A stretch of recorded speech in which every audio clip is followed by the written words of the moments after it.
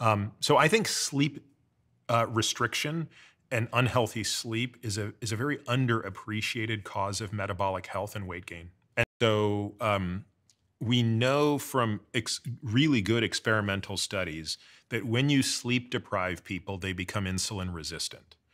And the more insulin resistant a person is, the less they're able to access their stored uh, energy.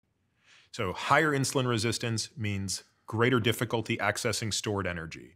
So, if you're if you wake up and you're if you know you have successive days of poor sleep and you're becoming somewhat insulin resistant, um, you're gonna want to eat more because you're not able to access your own natural stores of fat, which is where we want to go for energy.